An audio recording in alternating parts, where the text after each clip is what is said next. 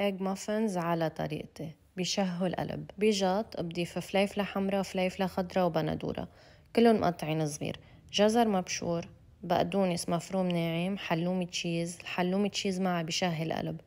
زيتون أسود بدون عجو ومقطع رفيع. بحركهم مع بعض وبحطهم على جنب.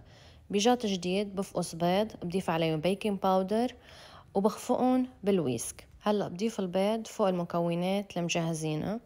بضيف لهم ملح بابريكا وبهار أسود. بالسباتشيلا بحركهم مع بعض منيح لحتى ينخلطوا مزبوط وهيك صاروا جاهزين للشوي برش القالب شوي زيت زيتون. أهم شي تستعملوا قالب يكون أكتر من ستة لأن هيدا القالب طلع شوي صغير. يا يكون ثمانية أو عشرة. آخر شي برش على وجهن سمسم ومحمص. هلأ بشويهم بفرن محمى من قبل على درجة حرارة 250 الفرن مشغل من الأعلى والأسفل بحط الصينية على الرف الوسط أخدوا 25 دقيقة لحتى صاروا جاهزين. الوقت بيعتمد حسب القالب يلي مستعملينه.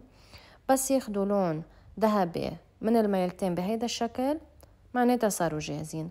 بس طلعتهم من الفرن دغري بشيلهم من القالب كرمال ما يعملوا بخار. بقدمهم دغري هن وسخنين وإذا ما بدكم تاكلون دغري الأفضل تحطوا تحت منهم محارم للمطبخ. بيشهوا القلب السلام عليكم ورحمة الله وبركاته.